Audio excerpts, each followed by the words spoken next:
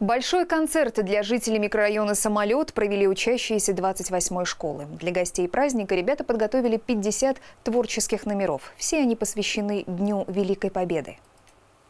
Люди, покуда сердца стучатся, помните, какой ценой завоевано счастье.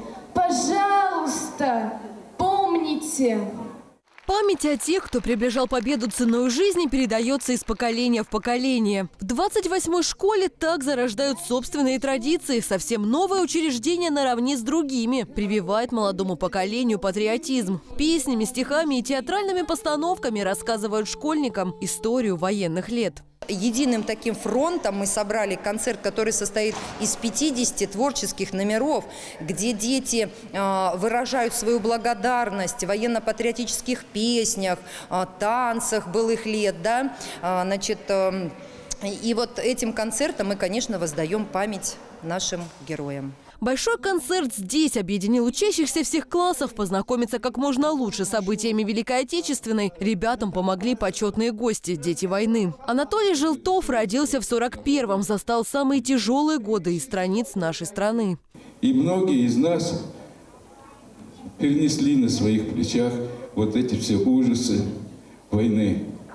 И потом послевоенное время. Ну и, конечно, стали тоже защитниками нашей Родины. Я помню, как после войны мы маленькими детьми играли в войну, в войнушку. И нам вроде это нравилось. Память о подвиге наших предков для этих школьников – это не только творческие постановки. Учащиеся организовали собственную стену памяти, где каждый желающий мог рассказать историю героя своей семьи. Благодаря таким выставкам дети и сами узнают о своих предках, ведь зачастую дома об этом не говорят. Стена памяти сделана нами для того, чтобы мы а, складывали частичку к частичке книгу, которую мы хотим написать о своих корнях.